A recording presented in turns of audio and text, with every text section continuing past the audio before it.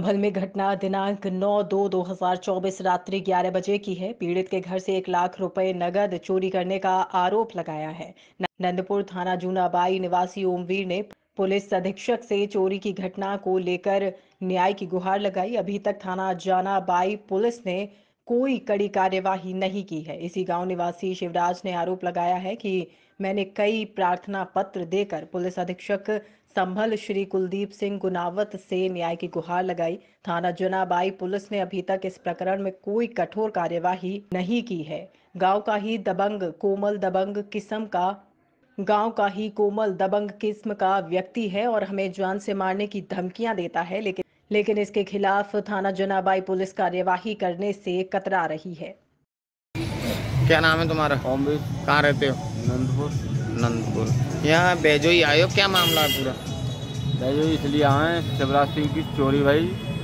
चोरी के मामले में पतरिया चौकी को एक हमने एप्लीकेशन दी उन्होंने कोई कार्रवाई नहीं की फिर हम कप्तान साहब से मिले। हाँ। कप्तान साहब ने क्या कप्तान साहब ने ये हमारा ये कही आप टेंशन मत लो हम बात करेंगे। और आपकी पूरी मदद की जाएगी पूरी कार्रवाई की जाएगी सर फिर क्या हुआ? फिर उसके बाद हम उन लोगों ने हमारी जगह पर काम चल रहा हो चार चार पाँच पाँच फीट बाउंड्री होगी मेरा भी काम रुकवा दिया। जगह मेरे नाम है। जनाबी थाना पुलिस ने क्या कार्रवाई की अब तक? अभी तक कोई कार्रवाई नहीं करी है। नहीं करी। अब क्या चाहते हो? हम अपने न्याय की गुहार लगाने के लिए एस साहब के पास आए। क्या नाम है जी तुम्हारा? मेरा शिवराज नाम है। शिवराज कहाँ रहते हो? नंदपुर। अच्छा। नंदपुर। कप्तान साहब को प्रार्थना पत्र दिया क्या मामला है? मेरे साथ चोरी भई थी। कब हुई थी चोरी? नौ नौ नौ तारीख दूसरे महीना में भई थी साहब। फिर क्या हुआ? साहब मैंने कई प्रार्थना पत्र एस पी साहब दे चुका अभी तक मेरी कोई कार्रवाई ना भाई गुंडे करते हो साहब और दमंगी दिखा दो मैं घर में एक निकलते हुए किसने चोरी? कहाँ के कहाँ का निवासी? नंदपुर। ये अच्छा, तुम्हारे गाँव का ही है?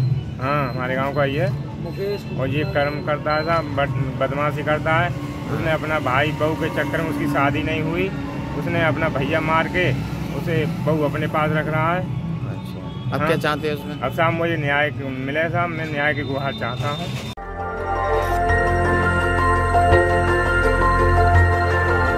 देखते रहिए डीबी भारती समाचार। नज़र हर खबर पर।